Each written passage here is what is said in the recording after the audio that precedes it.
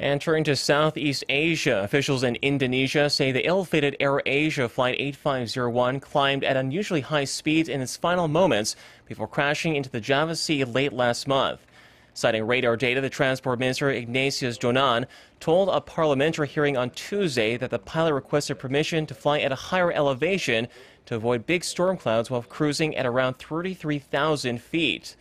The Airbus then sharply ascended at 2,000 meters per minute, or roughly 500 meters within six seconds, a speed faster than a fighter jet would climb.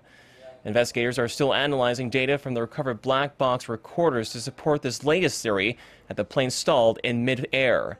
Meanwhile, Indonesian search teams are preparing equipment to retrieve the fuselage of the AirAsia jetliner, which lies at the bottom of the sea.